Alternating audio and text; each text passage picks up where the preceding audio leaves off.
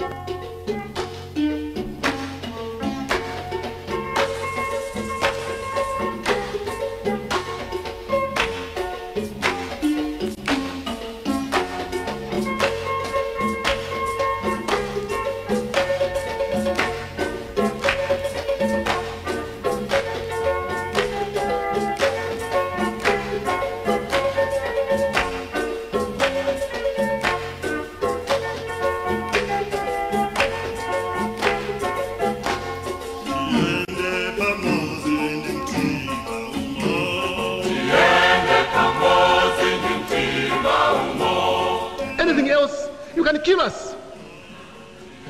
will be born out of our blood will continue to fight.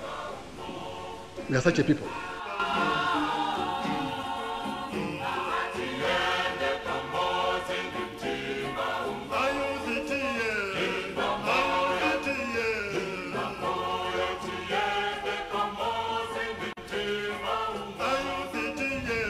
UNIP has got back its famous Chisokoni. Everybody, each, each, each, each, each, each, one Zambia. Yeah. ChiUNIP nditu.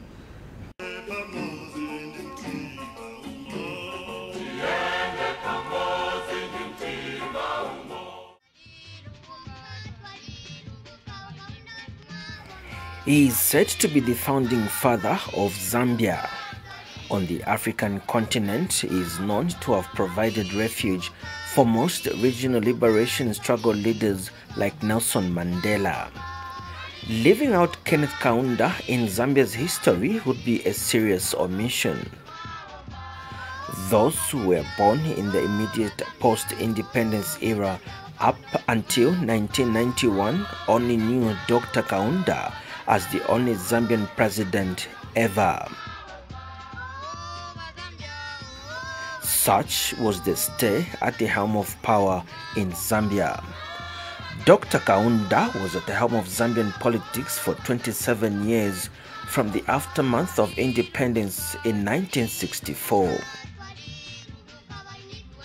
For most Zambians and the world over, he is fondly known as KK. Only mass public opinion could dislodge him from power, and it came as a surprise. It made headlines then when the outside world least expected. Credit is given to the winds of democratic change of the 1990s which traversed the African continent. At least the strongman of Zambian politics was no longer what had been perceived then to be Wamuyayaya, a local word meaning eternity. But who is KK? His life in politics dates back to 1953 when he was appointed Secretary General of the African National Congress under the presidency of Harry Mwaanga Nkumbula. But he would become the eventual head of the new state of Zambia at 1964. KK's life in politics is one marked with ups and downs like any other. In the pre-independence era, he spent some time in jail because of his anti-colonialism ideologies. To date, KK has gone down in the history of Zambia and Africa as one who championed the struggle against white oppression both locally and across borders. In the then Northern Rhodesia, KK took the struggle to the apex, forcing the British to negotiate their exit. Public civil disobedience characterized his constitutional struggle for freedom for the black man. This was alongside an armed struggle famously known as Cha Cha Cha. And in the pre October 24 days, the struggle paid off. The British succumbed, agreeing to negotiate their exit at Lancaster House in London. Finally, October 24th, 1964, Zambia was born. And KK became the first indigenous leader of the newly born nation in the southern African hemisphere. However, KK continued his independence struggle, this time beyond the Zambian borders. He worked day and night in this, providing support and refuge to other fleeing African freedom struggle leaders. Zambia does not have the capacity to strike back at the enemy because the enemy has been prepared for the last 60, 70 years, South Africa, for the last 54 years, Rhodesia. What's more, centuries behind them coming from the Western countries, vested interests. That is the correct analysis of the problem. And unless you understand it in this way, you will be misled by the enemy. The enemy is bent on destroying your Morero, Zambians. We in Zambia are peaceful people, peace loving. I challenge anyone to say today here that Zambia is a warmongering nation. I met John Vorster, the arch fascist and racist on the bridge. On the bridge. In search of peace. I failed. I failed. Joshua Nkomo came here and said he was going to make another try. I said, Joshua, don't. This thing is dirty. He said, I must try. I said, You are a free man. He went to Salisbury. For weeks he was there. He failed. He was in search of peace. Ian Smith has come here. And I knew I would be subject to misunderstanding by my colleagues in frontline countries, by my colleagues on the continent, by my colleagues and others in the whole world. I have allowed Smith to come here on a number of occasions in search of peace. But I'm a man with a conscience, clear conscience. God is hearing me. I can never sell out Africa. Never. Not me. Not these boys here. Not these girls here. We are men and women of principle. We have done all these things in search of peace. But it has to be genuine peace based on sincere, genuine majority rule. Anything else, you can kill us. Zambians will be born out of our blood We'll continue to fight. We are such a people. Zambia and its leadership devoted effort, resources, much more so humility to aiding neighboring countries to liberate themselves.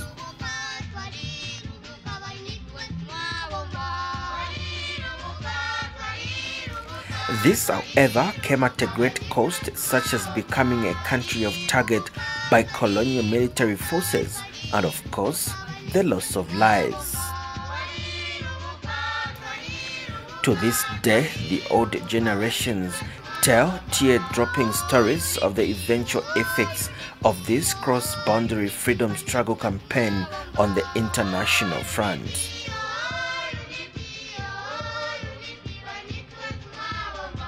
KK traveled widely, meeting world leaders in negotiations, all in search of freedom for African countries.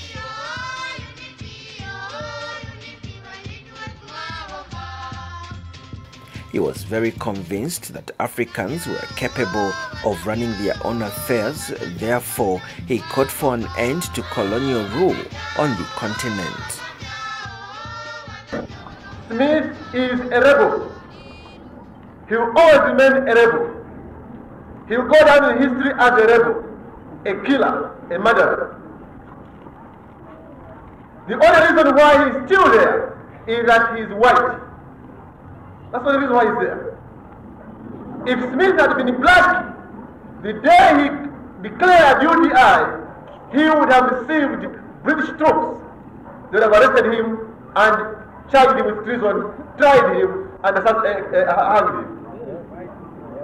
But because he's white, he's of British stock, he has remained where he is for the last 13 years. Killing Zimbabweans, killing Mozambicans, killing Botswanans, killing Zambians. And he has been allowed to get away with it. To this effect, Zambia and KK have an indelible place in the history chapters of countries such as South Africa, Namibia, Zimbabwe, and other neighboring countries. We in Zambia do not accept Vorster's decision to make Walvis Bay, which is part and parcel of Namibia, as part and parcel of South Africa. We don't accept that. Indeed. That is daylight robbery. He is, of course, what is here? What else is he? But a robber. We don't accept that and we urge the international community. I'm surprised that there is not much reaction from the people that influence decisions of that man. They've kept quiet.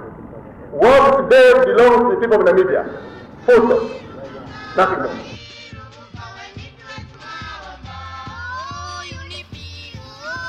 KK knew very well that Zambia was never free if its neighbors were still under colonial rule. And when peaceful means seemed to be failing, it is argued that KK did give a listening ear to proponents of armed struggle. Now we've exhausted the channel of talking. Now there's only one option left. That is for the majority of the people to take up arms in Rhodesia and fight it out with Smith's uh, uh, mercenary uh, troops. But remember, that also ends the chances of farmers in Rhodesia getting compensation. That also ends the chances of that's white farmers, white civil servants, or even black civil servants getting compensations and pensions, etc., etc. Industrialists, industrialists will lose out. That is the end because now compensations, uh, pensions will be settled on the battlefield. Therefore, by the 1980s, most of Zambia's neighbors were free from colonial rule. Back home, in the aftermath of independence, KK pursued an authoritarian rule.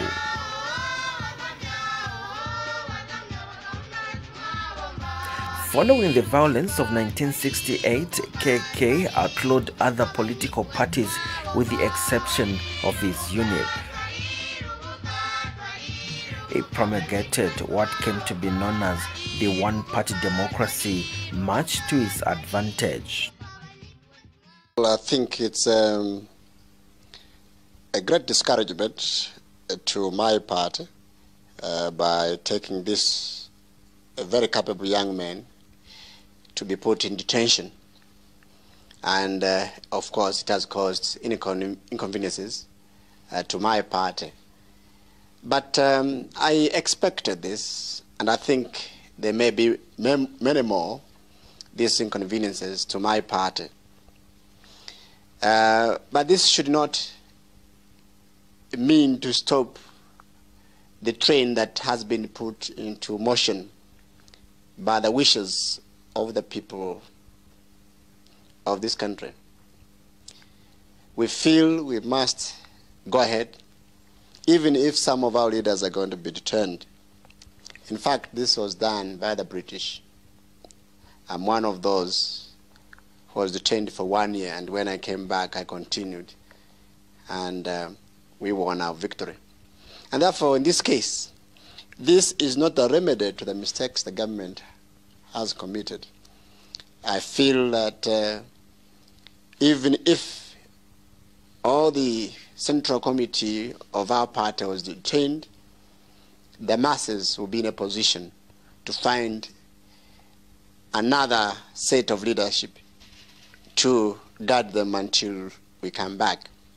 And therefore, I am not frightened. And I know the government, and I heard that they were planning to kill my party in its infancy. They will create a lot of cases uh, to, to pin on my party. And this was long before it was born.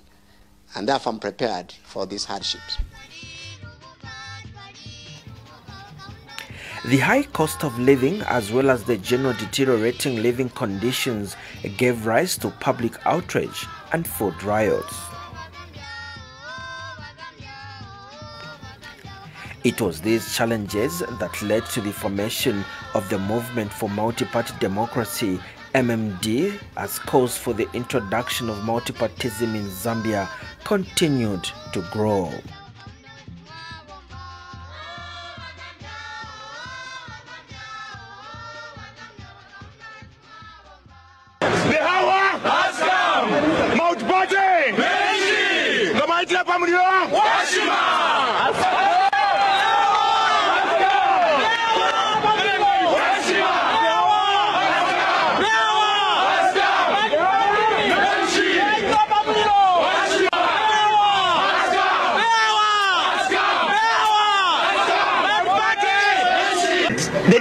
Democracy movement which you have started is irreversible and unstoppable. Nobody will stop this. This has to continue. Now, the pro democracy movement, the democracy, this is my fundamental right. It is a freedom, and I'm prepared to die for it. kwaya bantu mbale okusalapo nga balefu okutwalira ekironga nno kimona ngu nafimbi okula kimfyanya balefu oyo okulwana ife okupwisha aya machushi bela nfu omwensi oyo tuleyafye kuntanshi tuleya mukwashime ntungulu cisha mu unipiyo iki kintu mwakiwulira tekwesha okubula ekyo mwakiwulira ero mwatwala kuli balya kabiri abaana erya n'okunwa ebo mwebyatiyo omwentungulushi amafumo yawe amakabiriza nimutungulule By 1990, KK had no choice except to give in to winds of change, ushering in a new era of multi-party democracy and elections. And on December 17, 1990, KK signed the bill for the reintroduction of multipartism in Zambia. I want to say that I'm doing this very, very happy indeed because I want to believe that this is the wish of the people of Zambia that we should go multi party once again. Needless for me to point out that our experience in our first republic, insofar as multipartyism is concerned, was a very sad one. There's still some funny idea in some circles that we should form an interim government before elections. I dismiss that with the contempt it deserves. UNIP is a freely elected government. Through the mandate of the people, we lead the country. We administer the country and administer it in a most civilized way, where man is central. Man, as God made him, we have made man our in, own image, as God's declaration. So, apart from the principles, the principles which guide us, we run a civilized government here. But those principles, we still are mindful that what we do today, others will emulate tomorrow. Those who rise by the sword will perish by the sword. This has come out several times on this continent and elsewhere. So I'm very proud myself to contribute, albeit it in a small way, to this type of civilized society construction, reconstruction. So these men and women who run this government run it in a democratic way, run it in a civilized way.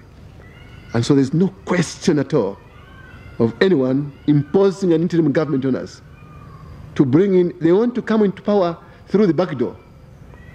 They are not frightened of the electorate. UNIP has got back its famous Chisokone, everybody, each, each, each, each, each, each, one Zambia. Yeah. Ichintu. Chabweranso UNIP ndito. I'm glad, therefore, to take this opportunity to say now Those who want to form their small parties are most welcome, provided they know that we want peace in Zambia, peace, stability, unity, and development. This fellow is signing on behalf of eight and a half million Zambians. Date of assent is 17th December 1990.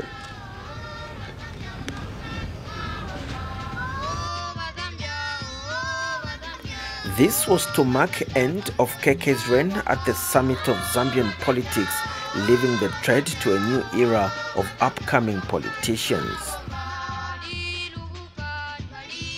The MMD embarked on a countrywide campaign as they promised democracy and to improve the living standards of majority Zambians. Elections were called and Kaunda and his UNIP only managed 20% of the votes while the opposition under Frederick Chiluba got the rest of the votes. Credit is however given to KK for conceding defeat in the first multi-party democratic elections of 1991. This is the nature of multi-party politics. You win some and you lose some elections. You know, it's the whole thing is a new ball game to me, and I'm waiting for uh, the experts to tell me, here's where you start now, and uh, uh, your elder brother Kaunda ends there. Then I'll pick it up. Following these events, Zambia has earned for itself an international recognition as being a haven of peace after conducting a peaceful transition. Unwinding the clock many years later, life after the presidency was not very smooth for KK. He was incarcerated before on charges of treason in the political drama that ensued the democratic changes of 1991 then. No reasons have been given for that detention. I asked my lawyers, there are seven of them, they asked why is this man being detained. Because this man told a lie at Kalunda house. He said he was just going to interview me and will bring me back. Dr. Kaunda was detained for months and pressure was mounting for the release of Dr. Kaunda from prison. Former Tanzanian President Julius Nyerere fought hard to ensure KK was released from prison and his efforts finally paid off. And so I listened to my elder statesmen. And they are saying, keep him away from prison. So I called uh, an emergency cabinet meeting last night. And I informed them, and we agreed that we will not keep him in prison we will move him from there and restrict him in his own house so that the former First Lady doesn't have difficulties in seeing my dear elder brother, uh, Dr. Kaunda. He will consequently be restricted in his own home, but there are conditions on this restriction. And I hope he cooperates, because if he doesn't, we may be compelled to take him back to where he thinks he must stay.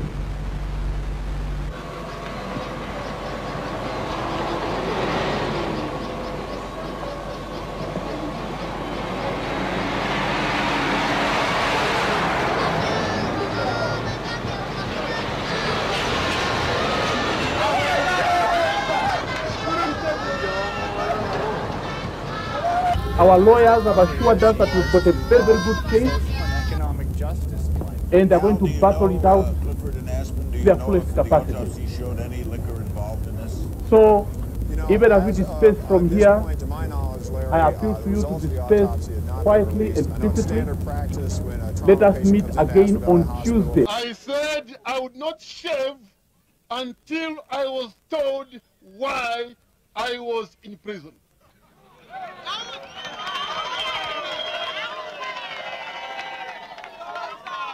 Today, today, God is great indeed.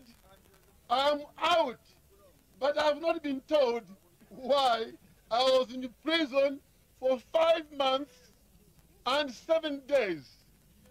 Why? I still don't know. Nema.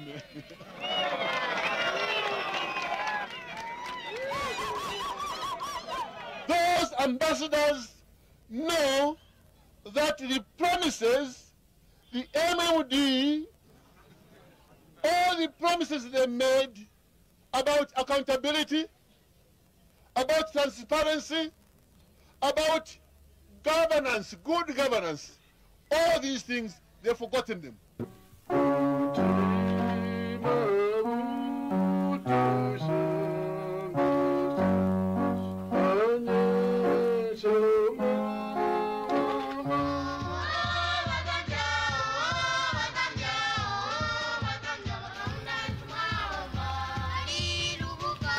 This was coupled with other dramatic developments such as his being declared stateless. Today, all these events are such that they make KK's life full of drama amid his returned recognition as the founding father of Zambia. Even as the sun sets on his life without doubt, KK has had his fair share of contribution to laying the foundation of what makes Zambia what it is today.